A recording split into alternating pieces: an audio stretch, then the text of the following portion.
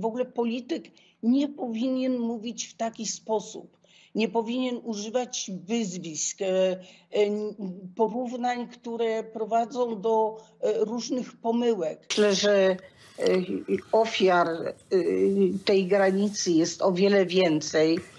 Mam wrażenie, że to jest watacha, watacha psów, która osaczyła biednych, słabych ludzi. No tak nie postępują żołnierze. Śmiecie po, po, po prostu.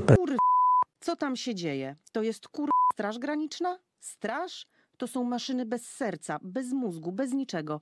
Maszyny ślepo wykonujące rozkazy. Kur...